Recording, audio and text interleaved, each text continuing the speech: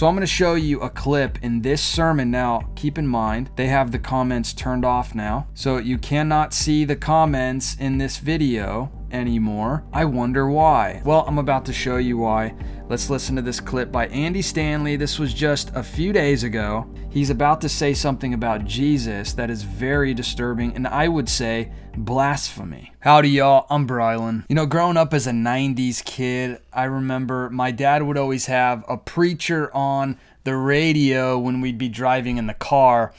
And I can still hear their voices, you know, the likes of Chuck Smith and Chuck Swindoll, who Chuck Swindoll, by the way, is one of my all time favorite Bible teachers and still is to this day. I love that faithful man of God. I'm always surprised when anybody takes time to listen when I talk. And Greg Laurie was on the radio a lot. There was a lot of Calvary Chapel teachers, but you know, there was also Charles Stanley.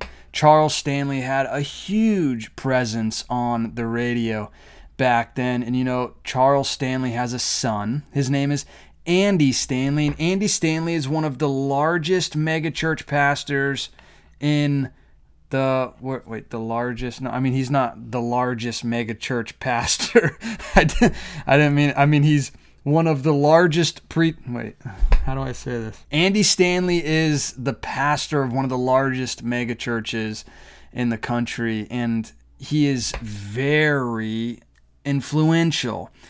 And that can be a very dangerous thing. Now, I'm very careful when I use the word false teacher. However, Andy Stanley lately has been saying many, many things that I don't know what else to call it at this point. You know, Andy Stanley goes as far to downplay the virgin birth of Christ. If somebody can predict their own death and then their own resurrection, I'm not all that concerned about how they got into the world because the whole resurrection thing is so amazing. And in fact, you should know this that Christianity doesn't hinge on the true uh, the truth or even the stories around the birth of Jesus.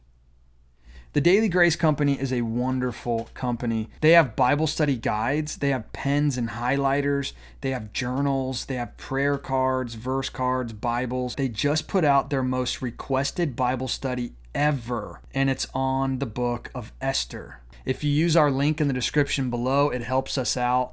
Uh, it costs you nothing, but it will help us out. Hey, would you consider hitting that subscribe button and being a part of this community with us? I would love to hear from you on a regular basis. And don't forget to hit that thumbs up button as well. You know, when you like this video, YouTube pushes it out to more people and it would really help spread this message. You know, Andy Stanley is the type of preacher that I like to call the Tony Robbins preacher. They are very much driven by motivational speeches. They like to take maybe a scripture and if they're feeling extra spiritual, then they'll use two scriptures in a single sermon. You know, Andy Stanley never actually preaches through the Bible because Andy Stanley doesn't believe that the Bible is actually, I don't know, this old book is not really worth anything anymore. We don't really even need the Bible. In fact, Andy Stanley is annoyed at the fact that so many Christians hold the Word of God with such a high regard. And he doesn't like that very much. Keep this in mind before I play this clip I'm about to show you. This is 2 Timothy chapter 3 verse 16. All scripture is breathed out by God and is profitable for teaching, for reproof, for correction, for training in righteousness, that the man of God may be complete and equipped for every good work. The Bible is literally God breathed. It is the very words of our Creator, and it's profitable for all these things. Andy Stanley is afraid that the Bible is just it's getting in the way. No, we don't believe in the resurrection because the Bible tells us so. And the question is simply this, but Andy, okay, I get all that. But Andy, the Bible is how we know about the resurrection. Actually, it's not. That when we preach and teach, instead of citing the Bible, we just drop back and say, John, an eyewitness of the resurrection, says. Paul, who steps onto the pages of history as someone who hated the church, says. Jesus, said. And again, it, it's just a different way. It's a different approach, and it, and, it's and obviously it's more accurate. Second Timothy three sixteen through seventeen says all Scripture is theopneustos. It's breathed out by God. So the the origin of Scripture is from God. The Holy Spirit of God carries people along to write what they write. And it's interesting. So why don't we just cite the people that were carried along? well let me just let me just point point this out that in in the, the time of the apostles um, after jesus death and resurrection and ascension the apostle peter refers to the writings of the apostle paul that were happening in his day and he says in 2 peter uh, 3.16 he says uh, talking about things that paul is writing that are difficult to understand he says there are some things in them that are hard to understand which the ignorant and unstable twist to their own destruction as they do the other scripture You can't start with the Bible says the Bible. I mean, you can. The Bible says the Bible says the Bible says. But here's the thing: everybody else now knows what else the Bible says. It, it- it's so now I'm beginning to spit and match on the six day creation, young Earth, old Earth, Levitical law, homosexuality. I mean, it's like, oh gosh, you know, we're the issue is who is Jesus. That's the issue, and if you get that straight, the dominoes start falling and, um, you know,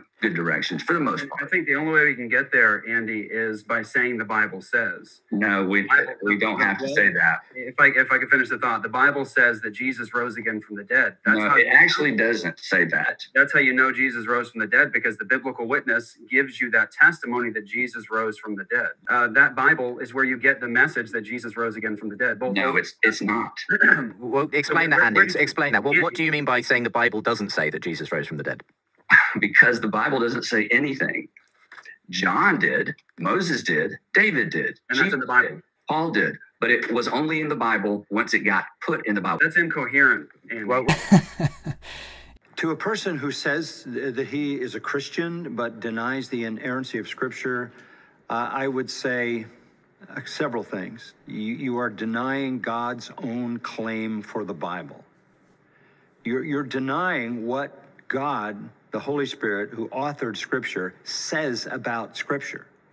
That all Scripture is given by inspiration of God.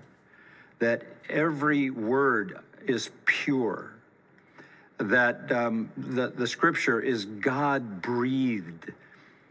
Not only that, not only those explicit statements are you denying, but you're denying every time in scripture it says, Thus says the Lord. And yet, then you're denying the overall superintending power of God over his revelation. Now, what that does essentially is say this you are the judge of scripture. You've just made yourself the authority over the Bible.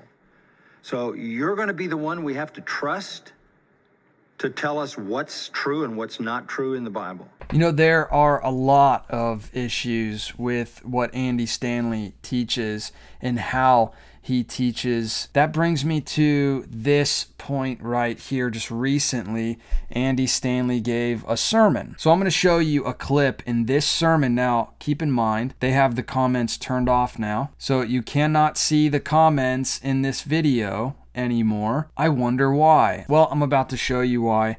Let's listen to this clip by Andy Stanley. This was just a few days ago. And this is what's so problematic about Andy Stanley. and hear me i'm for the for the for the moment don't hear me saying what i'm saying because it's necessarily true just hear me saying what i'm about to say because this is what was said according to jesus good people don't go to heaven So that's one of the issues with Andy Stanley right there is that he, he he says stuff like that. Don't don't actually hear me for what I'm about to say if it, if- because it's not true, but it is true and it's this and it's that. It's the mind games behind his message, you know. He has to start certain things he's about to say like that. He has to basically give a disclaimer what I'm about to say, who cares whether it's true or not or whatever because he doesn't rely on the Bible. Therefore, he doesn't actually respect the ultimate source of truth. So, of course, he's not actually going to have ultimate truth to speak on. And you notice right here, he's about to say something about Jesus that is very disturbing and I would say blasphemy. According to Jesus, it's the very opposite of what most people who believe there's a heaven actually think and believe. And the fact that Jesus didn't believe that good people go to heaven, that doesn't necessarily make it true. That's just what he taught.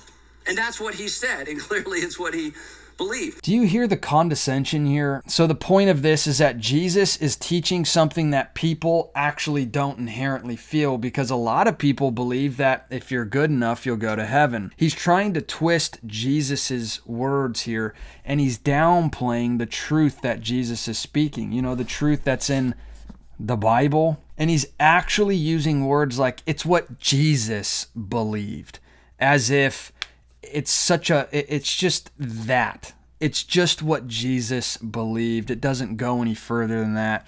We can go ahead and leave that part out of it because it's just what Jesus believed and it doesn't make it true. You don't get any more heretical than that. You don't get any more blasphemous than that, than taking something Jesus said and saying it's just what he believed and it doesn't actually make it true. Andy Stanley's Andy Stanley's made it very clear where he stands when it comes to the truth of God's word. Andy Stanley does not respect the Word of God. And in fact, Andy Stanley believes that the Word of God is a hindrance to Christianity. Instead of saying the Bible says, we should, you know, we should tone that down a little bit because everybody already knows what the Bible says. We can't use it anymore. But hey, let me know your thoughts about all this in the comment section below. I would love to hear from you and hear your thoughts on this. And if you wouldn't mind hitting that subscribe button and being a part of this community, I would love to hear from you on a regular basis.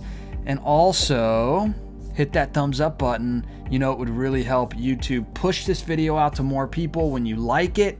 So thank you for doing that. And hey, don't forget to go check out our merch. You can check out the link called Shop Our Merch in the description below.